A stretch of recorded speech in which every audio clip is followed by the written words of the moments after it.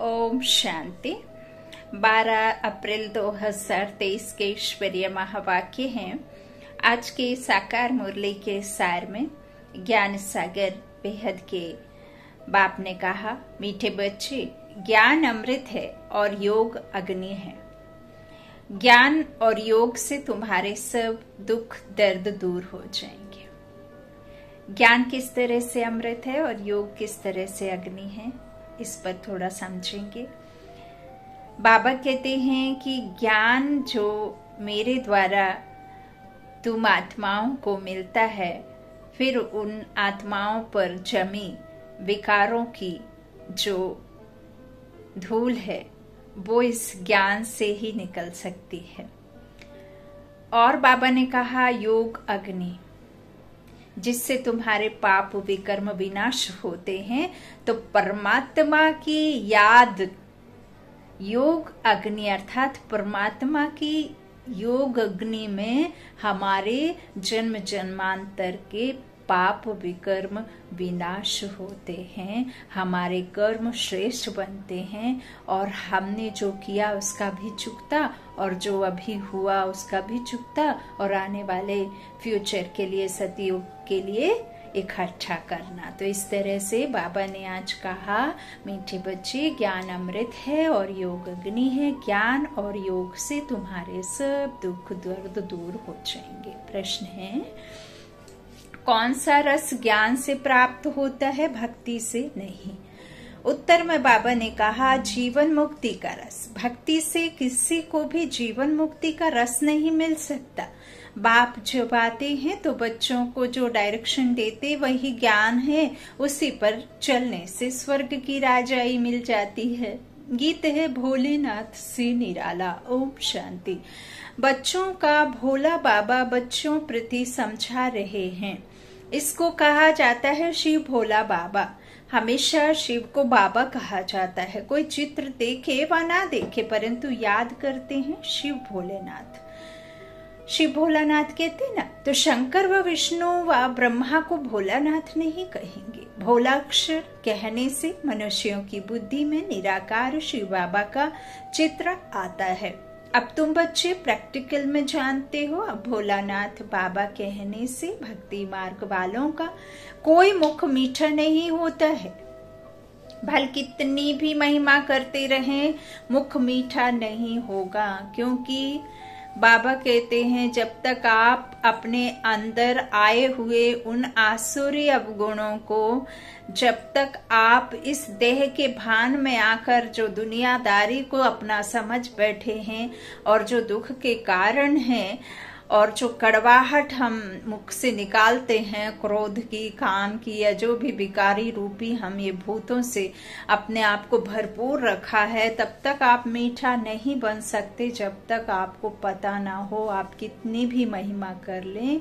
बाबा कहते, महिमा करते रहे, मुख मीठा नहीं होगा। क्योंकि आत्मा के विकार जब तक आपके अंदर से नहीं जाएँगे, तब तक आप मीठे बन ही नहीं सकते। अभी तुम बच्चे, शिव बाबा को याद करते हो। शिव भोलानाथ बाबा कहने से मुख मीठा हो जाता है। निराकार, शिव बाबा, है ना? तो शिव बाबा हमको पढ़ाकर स्वर्ग का मालिक बनाते हैं। बाबा कहने से बच्चों को प्रॉपर्टी भी ज़रूर याद पड़ती है। तुम बच्चे जानते हो, वही शिव बाबा है। मनुष्य सृष्टि का बीज रूप भी उनको कहा जाता है झाड़ का एक ही बीज होता है। तो मनुष्य सृष्टि रूपी झाड़ का भी वह एक बीज है है ना? अब नींबू का झाड़ उगाना है, है? और उसमें नींबू चाहिए आपको तो फिर आपको नींबू का ही डालना पड़ेगा। ऐसे नहीं कि आपको नींबू चाहिए और अमरूद का पेड़ बीज डाल दोगे है ना? आपको अमरूद चाहिए तो अमरूद का डालना होगा, आम चाहिए तो आम का डालना होगा। तो ऐसे ही बाबा कहते झाड़ का एक ही बीज होता है। तो ये मनुष्य सृष्टि रूपी झाड़ का भी वह बीज है, जिससे फिर मनुष्य सृष्टि रची जाती है। क्योंकि बाप हो गया ना बाकी सब हुए उनके बच्चे। भक्तों का भगवान बाप एक है। भक्त याद करते हैं भगवान को, परंतु पूरा जानते नहीं है। यह भी ड्रामा में नोंद है। बच्चों को इस ज्ञान और योग बल से सदा सुखी बनाए मैं छिप जाता हूँ। ज्ञान सागर भी एक ही है। जैसे वह पानी का सागर भी एक ही है, उनको बांटा गया है। यह इंडिया का सागर है। बाबा कहते हैं, यह फलाने का सागर। कहते हैं ना, ये इंडिया में सागर, ये है, वो है ना? तो इस तरह बाबा कहते हैं, वास्तव में सागर एक ही है। सतयुग में इस सागर को बांट नहीं सकते। एक ही सागर रहता है, जिसके तुम मालिक बनते हो। वहाँ इतने खंड थोड़े ही रहते हैं। अभी तो चाँद सूरज को भी बांट दिया है है ना? कैसे बांट दिया है? एक अमेरिका बसा दिया, एक दूसरा यूरोप बसा दिया ऐसी तरह से अलग अलग कंट्री एक जापान है, एक चाइना है, ये सब तो पापा कहते हैं। बाय प्लॉट जो हुआ है तो वो बाय प्लॉट वापस भी आएँगे। जो चकाचौंध हमें सौ वर्षों की दिख रही है, वो चकाचौंध इन सौ वर्षों में ही लौटनी होगी। वापस जिसका जहाँ लौटाना होगा। जब इंडिया में दिन होता तो अमेरिका में रात होती और जब अमेरिका में रात होती तो इंडिया में दिन होता। तो बट गया ना चाँद सूरज है ना? टुकड़े कर दिए उसके भी। बाबा कहते हैं उस समय सागर को बांट नहीं सकते एक ही सागर रहता है जिसके तुम मालिक बनने वाले हो। वहाँ इतने खंड थोड़े ही रहते हैं। एक बाप की एक राजधानी रहती है। इसी भा, भारत वर्ग पर वर्ल्ड ऑल अथॉरिटी का एक ही राज्य था। देवी देवताओं के राज्य को भगवान भगवती का राज्य भी कहते हैं। विलायत वाले गॉड गॉडेस कहते हैं, परंतु जानते नहीं हैं कि वह कब राज्य करते थे, कैसे राज्य पाया। ज्ञान सागर एक बाप है, वही ज्ञान से सबकी सदगति करते हैं। अब तुम बच्चे जानते हो, हमारे सामने ज्ञान सागर बैठा है। उनसे ज्ञान गंगाएँ निकल सारे विश्व को सदगति देती हैं। इसको ज्ञान अमृत भी कहते हैं। अमृत शब्द से ही फिर पुजारी लोग चरण धोकर यह, वह अमृत बनाए पीते हैं। देखो बाबा ने कितनी प्यारी बात है मुरली में, कितना गुहार आज बाबा ने समझाया है। मैं रिपीट करूँगी, बाबा कहते हैं कि अमृत शब्द से ही फिर पुजारी लोग चरण धोकर वह अमृत बनाए, पीते हैं। वास्तव में उसको अमृत नहीं कहा जाता। आजकल दवाइयों का भी नाम अमृत रखा है, जिससे सब दुख दूर होते हैं। वह भी बात नहीं है। यह तो बाप बैठ बच्चों को योग सिखाते हैं। योग को अमृत नहीं कहा जाता। योग अग्नि से तुम्हारी सब बीमारियाँ 21 जन्मों के लिए दूर होंगी। क्योंकि जब हम बाबा की याद में रहते हैं तो बाप समान, आप समान बनने की जो हम योग से अपने अंदर में परमात्मा के गुण भरते हैं, जो हमारी आत्मा के सतगुण हैं, वो सतगुण हमारे में आने शुरू हो जाते हैं। तो हमको उन गुणों के कारण फिर हम जब दैवत्व धारण करते हैं, फिर प्रैक्टिकल में हम उस संसार में जाकर के सुख की दुनिया में रहते हैं तो 21 जन्मों के लिए। वहाँ कोई बीमारी, है ना? किसी तरह की अकाली मृत्यु या कोई भी धन से, कोई अप्राप्ति नहीं है वहाँ, है ना? तो सिर्फ़ बाबा कहते हैं, योग अग्नि से तुम्हारी क्या होंगी? सब बीमारियाँ इक्कीस जन्मों के लिए दूर होंगी। तो इस जन्म की नहीं इसमें तो अंत तक भोगते रहेंगे। यह है योग की बात। बाप कहते हैं, योग लगाओ तो तुम्हारी सब बीमारियाँ नष्ट होंगी, फिर कब बीमार होंगे ही नहीं। यह कोई समय नहीं कह रहे बाबा। आगे फ्यूचर के लिए बाबा कह रहे हैं, जहाँ तुम्हारे को ट्रांसफ़र करेंगे तो तुम पुरुषार्थ करते हो, बाप से हेल्थ वेल्थ लेने लिए। वहाँ कोई बीमारी होती ही नहीं। मैं तुमको ऐसे कर्म सिखलाता हूँ जो कभी बीमारी होगी ही नहीं। कहते हैं, व्यास भगवान ने शास्त्र बनाए, परंतु यह तो सब ड्रामा में नूंद है। नाम पड़ गया है व्यास का। यह है बना बनाया ड्रामा। जो भी तुमने देखा, वह सब ड्रामा में नूंद है। अनादि बना बनाया है, यह बदल नहीं सकता। भक्ति मार्ग द्वापर से प्रारंभ हो जाता है। भल कोई कितनी भी भक्ति करे, शास्त्र पढ़े, परंतु वापस नहीं जा सकता। सतो प्रधान से तमो प्रधान में ज़रूर आना है। इस कर्म क्षेत्र से बाहर कोई जा नहीं सकता। तुम जानते हो हम सो सतो प्रधान थे। अब हम सो सतो प्रधान से तमो प्रधान बने हैं। ड्रामा अनुसार बनना ही है। भक्ति मार्ग में रात शुरू हो अंधियारा हो जाता है। इस पहले इतना अंधियारा नहीं होता है जितना अभी है। हम्म, जब शुरुआत होती है ना तो बाबा कहते, इतना अधिक अंधियारा नहीं होता जितना अभी है। रात को भी पहले सतो प्रधान भी सतो रजो तमो कहा जाता है। धीरे धीरे कला कमती होते होते घोर अंधियारा हो जाता है। है ना? देखा है ना आपने चंद्रमा जब फुल मून होता है तो पूर्णिमासी कहते हैं और जब चाँद कटते कटते कटते फिर अमावस्या तक पहुँचता है तो एकदम घोर अंधियारा हो जाता है। तो ऐसे ही बाबा कहते धीरे धीरे, ये बाबा हमें बेहद का बता रहे और वो हम जो जानते हैं, वो हद का जानते हैं, है ना? बाबा कहते हैं, फिर धीरे धीरे क्या होता है? है ना? अभी सृष्टि पर बेहद का ग्रहण है है ना? कलाएँ धीरे धीरे कम होती है ना? बाबा कहते हैं, जब तुम सतो प्रधान सतो प्रधान होते हो ना, हमारा जो अनादि स्वरूप है वो कैसा है? आत्मा का, है ना? तो फिर सतो में आते हैं, सतो प्रधान दुनिया में, है ना? तो वहाँ हमारा शुरुआत हो जाती है। कला उधर कम नहीं होती है, लेकिन वहाँ से हमारा पाठ शुरू होता है तो धीरे धीरे उतरना शुरू हो जाते हैं। फिर हमारा आता है त्रेता में थोड़ा और कमती हो जाते हैं। तो हम सोलह से फिर चौदह में आ जाते हैं ना तो फिर चंद्रवंशी में आ जाते हैं, सूर्यवंशी से, है ना? अच्छा तो पापा कहते इस तरह से क्या होता है? धीरे धीरे अंधियारा होता है। अभी सृष्टि पर धीरे बेहद का ग्रहण है। एकदम घोर अंधियारा है। इस चंद्रमा की बात नहीं। यह सारे विश्व की बात है। बाबा कहते, कोई चाँद सूरज की बातें नहीं है। ये सारे विश्व की बातें हैं। रावण का ग्रहण लगा हुआ है। द्वापर से लेकर सारे विश्व को ग्रहण लगना शुरू होता है। द्वापर से लेकर। थोड़ा थोड़ा लगता जाता है, पच्चीस सौ वर्ष लगता है, जबकि अंत में भारत बिल्कुल ही काला हो जाता है। अभी है बिल्कुल घोर अंधियारा। घोर सोझरा अर्थात दिन बनाने वाला है बाप, पतित को पावन बनाने वाला है बाप।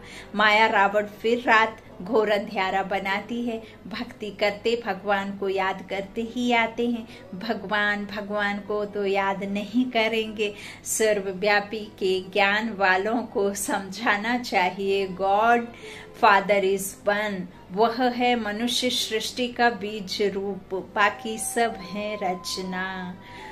तो बाबा कहते रचना की ऐसी महिमा कभी हो नहीं सकती। बीज की ही होती है, बीज से ही झाड़ निकलता है तो बीज में ही गुण होते हैं कि वो कितने फल देगा।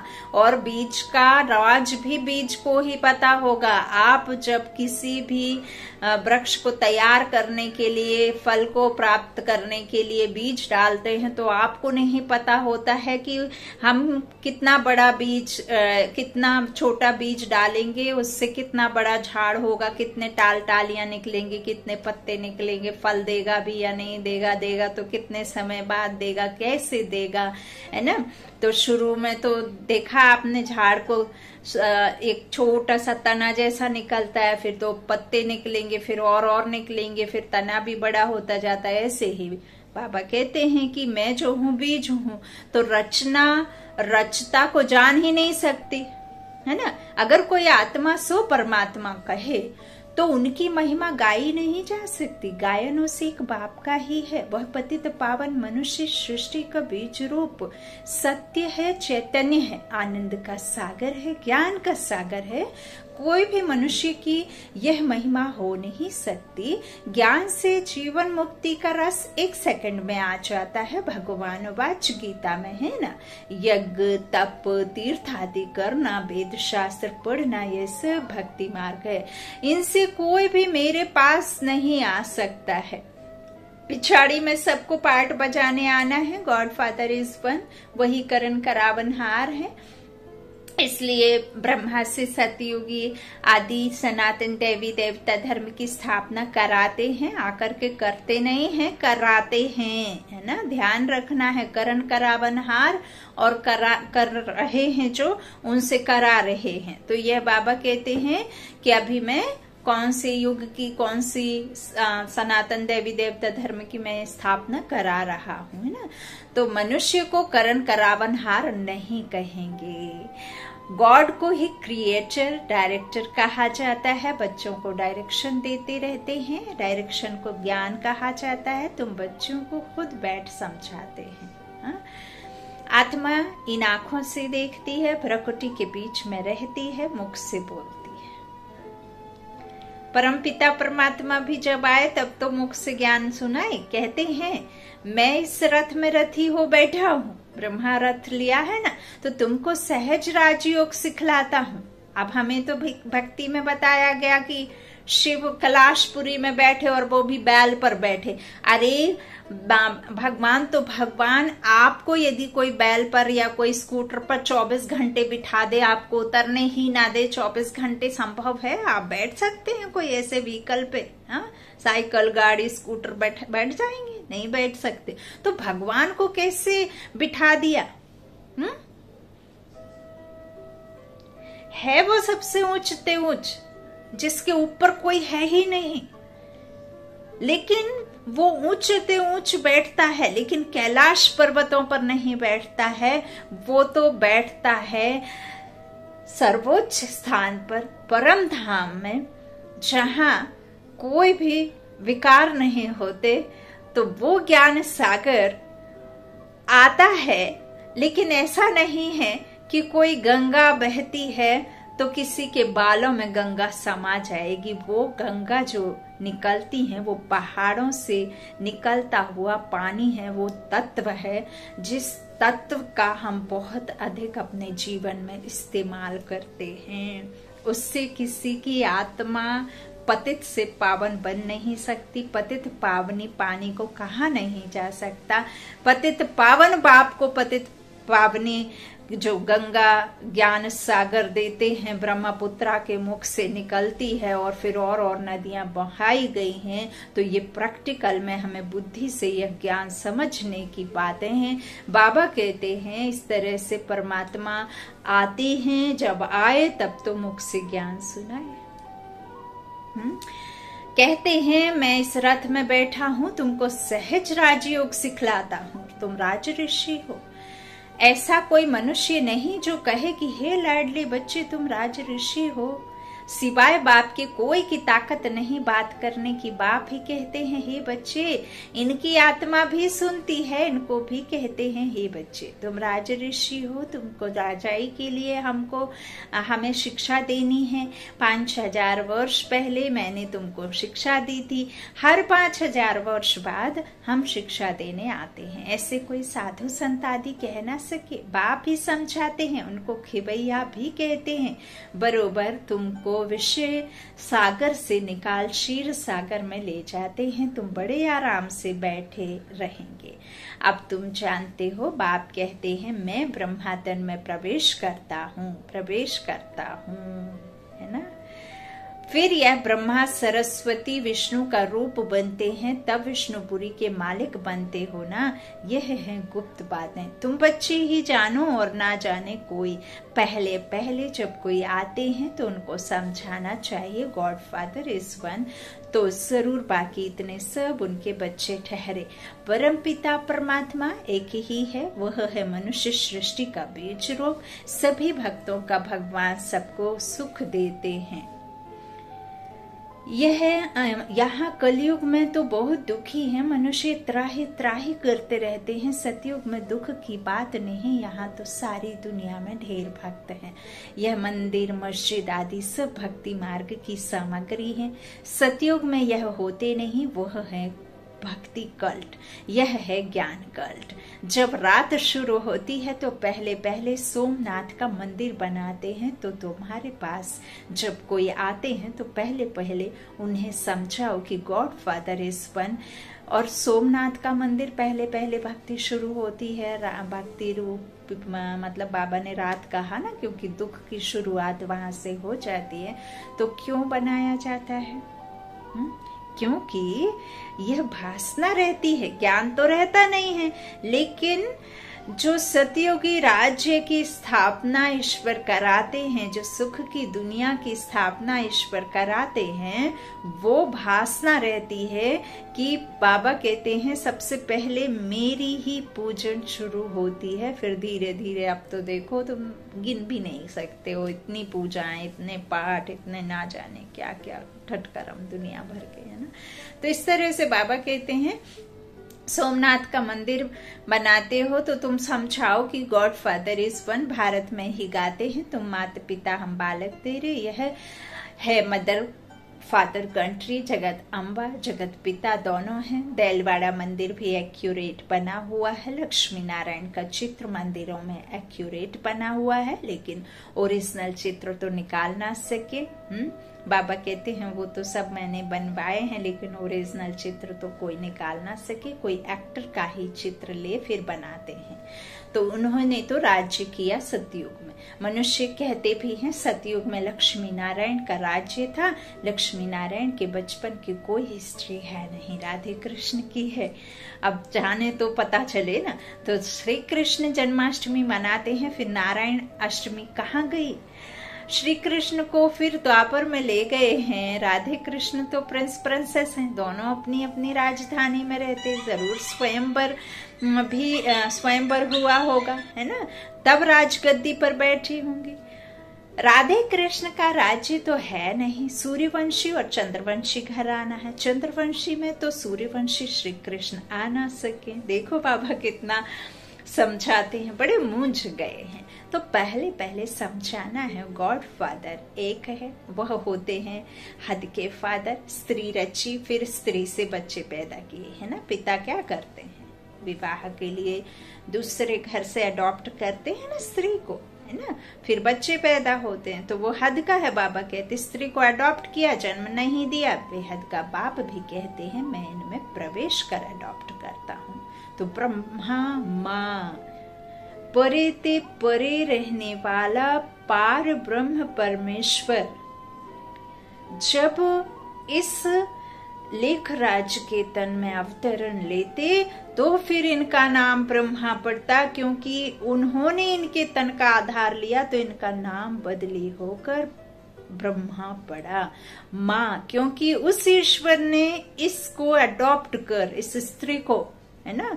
क्योंकि आप ऐसे भी समझ सकते हैं, एक परिवार में यदि एक छोटे बच्चे को छोड़कर उसका पूरा परिवार चला जाता है और उस परिवार में सिर्फ़ उसका एक भाई रह जाता है तो वो भाई माँ का, बहन का, पिता का सबका फ़र्ज़ करता है और उसकी पालना भी करता है। तो एक भाई, यदि माँ बाप सब कुछ बन सकता है तो वो ईश्वर, इस ब्रह्मा स्त्री को एडॉप्ट करके ब्रह्मा माँ क्यों नहीं कह सकते?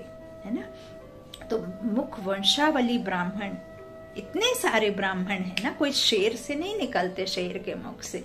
फिर भक्ति में तो शेर के मुख से दिखाए। तो बाबा कहते हैं, स्त्री को अडॉप्ट किया, जन्म नहीं दिया।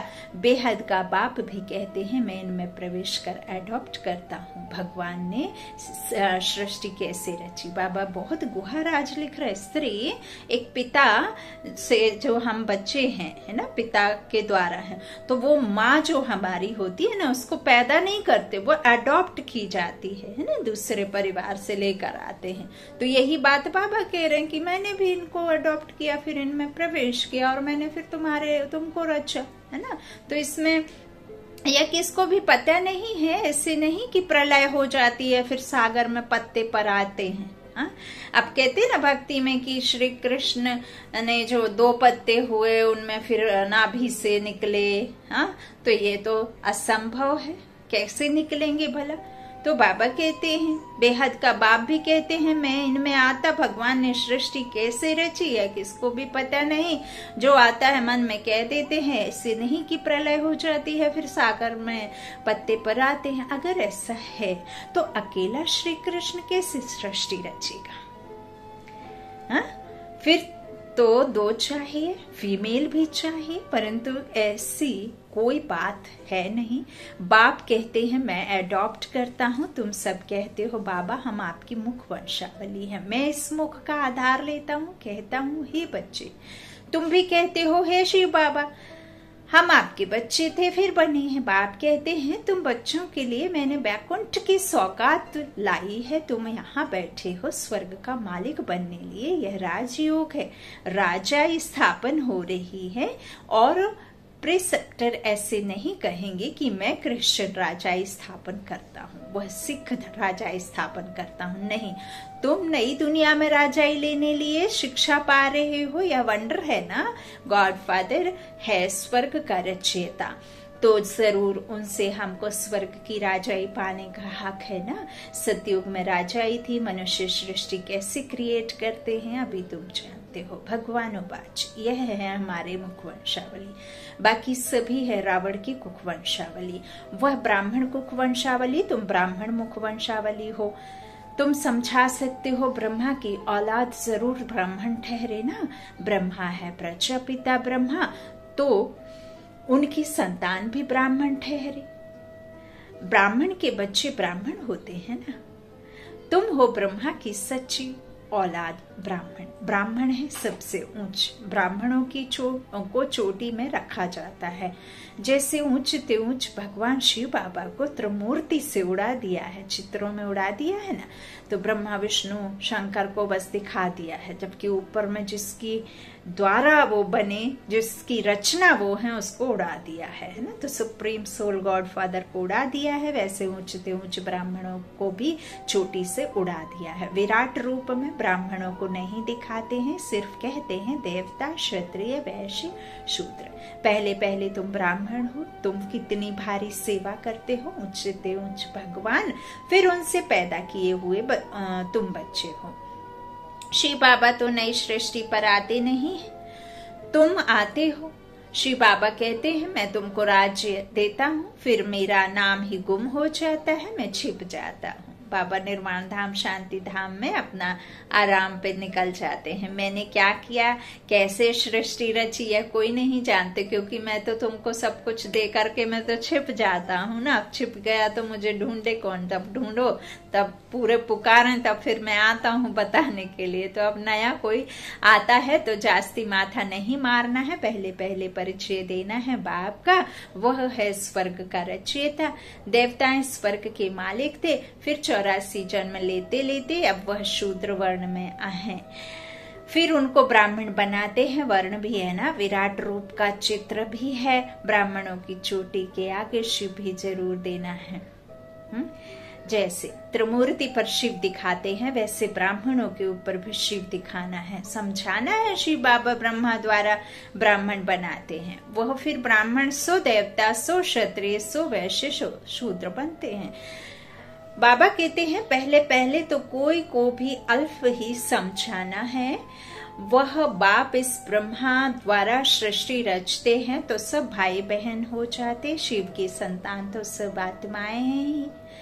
फिर मनुष्य सृष्टि रची जाती है तो पहले पहले ब्रह्मा सरस्वती ब्राह्मण फिर देवता क्षत्रिय बनते हैं, ऐसे यह मनुष्य सृष्टि का झाड़ वृद्धि को पाता है। उसी बाप को सब भूले हुए हैं। देखो बाप दादा कितना क्लियर कर समझाते हैं, बच्चों को भी सीखना है।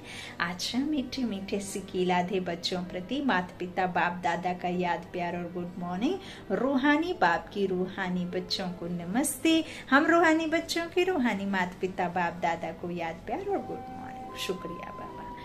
धारणा के लिए मुख्य सार पहला बाबा ने कहा, हम राज ऋषि हैं, स्वयं भगवान हमें राजयोग सिखाकर राजाई का वर्षा देते हैं, इस नशे में रहना है। दूसरा, योग अग्नि के विकर्मों को दग्ध कर, सब बीमारियों से सदा के लिए मुक्त होना है। इस जन्म के कर्म भोग को याद में रह चुकतू करना है। वरदान है बाप का।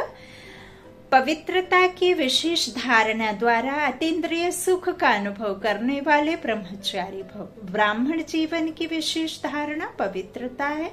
यही निरंतर अतीन्द्रिय सुख और स्वीट साइलेंस का विशेष आधार है।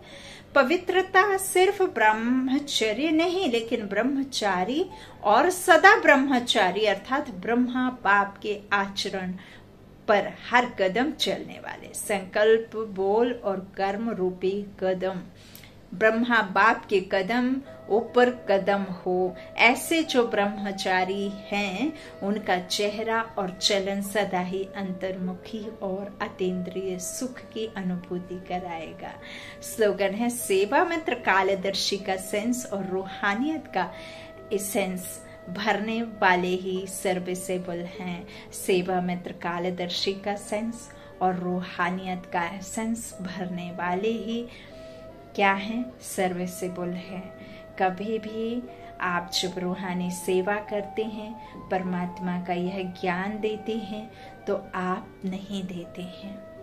परमात्मा ने आपको निमित्त चुना है, सेवाधारी बनाया है, वरना संसार में इतने धन दौलत वाले मनुष्य आत्माएँ हैं कि सिर्फ़ ये वस्त्र पहनकर सेवा करना होता तो आज सिल्वर का एक कपड़ा, चांदी का एक साड़ी बना करके इतना पैसा लोगों के पास में कि वो कुछ भी अच्छे से अच्छा पहन करके सेवा कर सकते हैं। लेकिन बाबा सिर्फ़ इस शरीर के बारे में नहीं कहते, बाबा कहते हैं, तुम बच्चे, मेरे हो तो तुम आत्मा हो। और तुम आत्मा में मेरा ग्रहण जो धारणा हुई है ज्ञान की तो वो धारणा तुम्हारे आत्मा में हुई। अब यही जो आत्मा की धारणा हुई है तो उसको आपको रूहानियत में रहकर और आत्मा, त्रिकालदर्शी अर्थात आत्मा निश्चय कर, फिर यह ज्ञान मेरा था।